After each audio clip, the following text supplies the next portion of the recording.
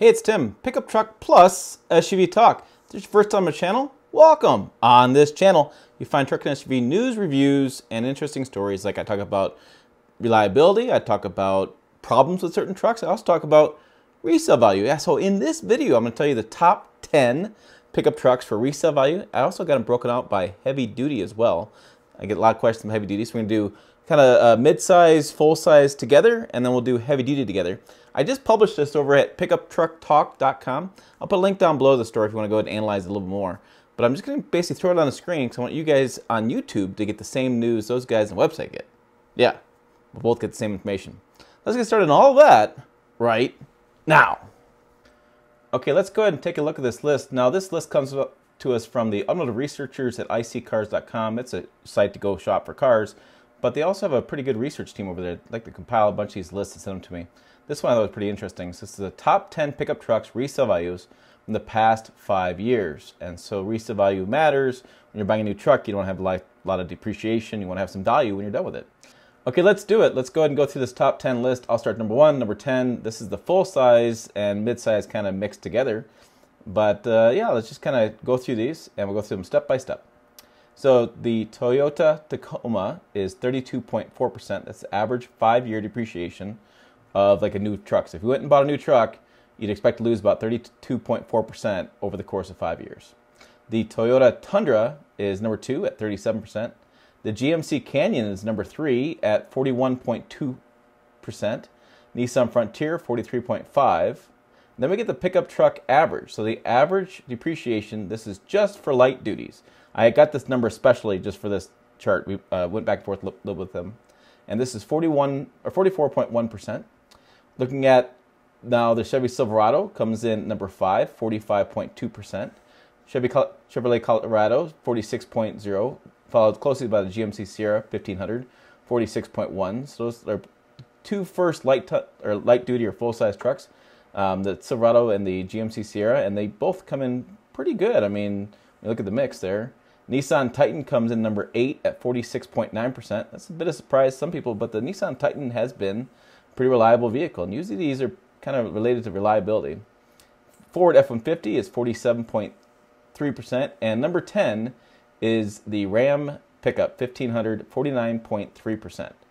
So the surprise for me was the GMC Canyon out of that list. And uh, I quoted the iSeeCars' executive analyst, Karl Brauer, who says the redesigned Canyon holds value due to heightened demand from its production hiatus, hiatus from 2013-2014. So when it came back, it was a desirable truck, and then now it's a desirable used truck. So it is pretty interesting. I also think the low volume of the GMC Canyon probably helps it as well. Keeps appreciation, or de- keeps keeps it from depreciating so badly. Okay, so we got some more information there. But I said, what about heavy duty trucks? People on this channel always say, Tim, I want to know more about heavy duty trucks. We do stuff. So here we go. I reached out to iSeeCars and they got the chart back to me. So let's do heavy duty trucks.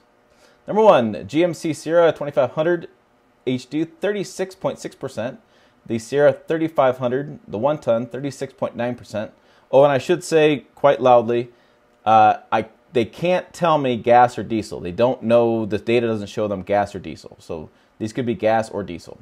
Number three and number four, well, it kind of go like one and two. 38.3% for the one ton Chevy Silverado, and the three quarter ton gets 38.3% as well. It's a basic virtual tie for third and fourth.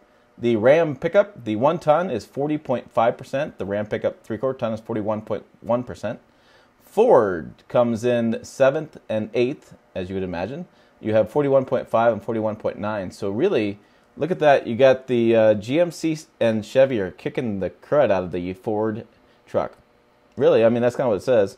Now, five percent. Uh, I don't know. That, that's not kicking the crud. All right, fair, but uh, you got to spice it up a little bit. So there's uh, there's your listing of your heavy duty trucks. Now the average heavy duty pickup truck average was 39.2 percent, and so the Ford fared a little bit worse than that, and the GMC Sierra fared a little bit better than that. Also the Silverado. So kind of interesting list. So here's a methodology.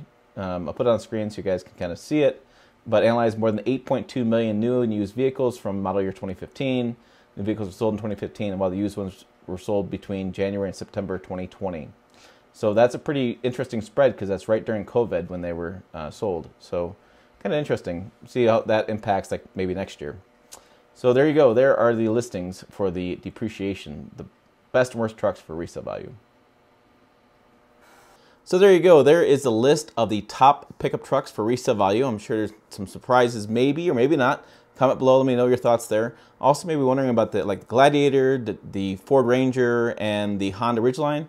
Well, according to iSeeCars and quick Google search, those vehicles haven't been on the lot or on the market now for the last five years consistently.